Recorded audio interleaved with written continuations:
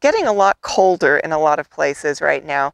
So today I'm going to be warming your body up in a way that actually will warm you up. So we're going to go ahead and get started with a marching reaching exercise. So you're just going to stand here and then lift that foot toward that hand. So we're just lifting the leg, lifting the toe, trying to touch. You don't actually have to touch, but you try to kind of aim toward that foot.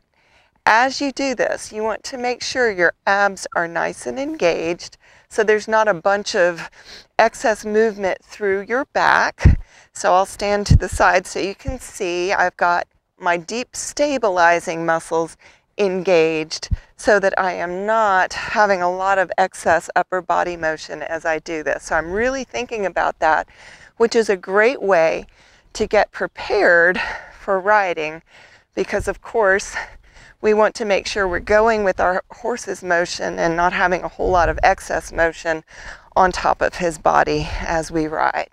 This also will be getting your heart rate up. We're getting some good mobility in the joints here. So just a great overall thing to do on a chilly day before you ride to wake up your own body. Your heart rate should be coming up. You should be starting to notice that you may be breathing a little bit harder, which is get, because you're getting that blood flow. The heart's pumping a little bit more blood. You're going to be warming up a bit. And that's always a good thing before we get on our horse.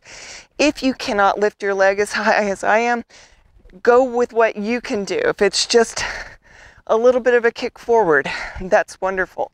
But if you can go a little bit higher, go ahead and really give it your all so that you'll get warmed up a little bit more quickly. So good job on that. The next exercise, so of course you have to use some balance on that too, so that's a great preparation exercise for riding. And our next exercise is going to challenge your balance as well. We're going to open up our hips with this a little bit. So we're going to stand on one leg. You put your hands on your hips, leave them down low, wherever you need. But we're going to start by putting our, we're going to stand on one leg and then lift the other leg out and cross it in front of the body. And just these gentle leg swings here to get that body prepared by opening up the hip, really working on our balance, having to engage our abs to stabilize ourselves, noticing our shoulders, our, our chest staying open. Are we lifting our shoulders? Are we gripping anywhere? Is there pain or tension anywhere? Are we struggling in any particular way? Just really getting into our bodies before we go get on our horses' bodies. And there you go. Last one on that side. We're going to shift and do the exact same thing to the other side because we want to be as symmetrical as we can with our asymmetrical bodies. Most of us have a dominant side and we're always working to even things out, just like we're always trying to even out our horses' bodies and help them come into balance. So, doing balance work off the horse helps us get more balanced in our bodies, and hopefully, that then helps us help them get more balanced in their bodies when we ride. So, great job on this. Just a couple more. And there you go. All right, we're going to finish up today's warm up with a hamstring stretch. So you're going to put your foot on the mounting block. If you don't have a mounting block, you can just put your foot down on the ground and bend that knee. But the mounting block sure is handy. So we're going to go ahead and put that there and then just lean forward. Now you're going to think about hinging at your hips so that you're not hunching over. You're going to just bend at the hips and go where you can go. So if you can only go this far, but you feel a good stretch, that's perfect. If you can go a little bit farther, that's really good too. If you can grab hold of that toe and pull it back, that is also great. That standing leg is straight, but you don't want to lock it out.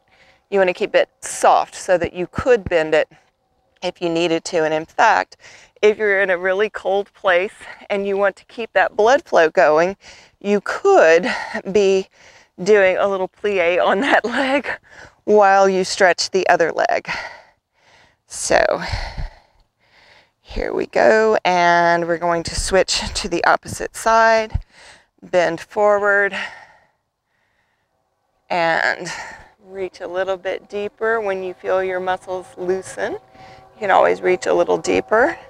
Can pull that toe back towards you. You want to think about your abs being nice and engaged even here. And then if you want to add the bending leg in, go ahead and do that.